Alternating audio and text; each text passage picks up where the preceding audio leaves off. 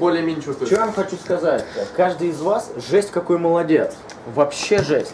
Я пересматривал, например, ора- четыре ораторского назад, два человека залезли, стояли 15 минут и послали все, прошу прощения, нахер.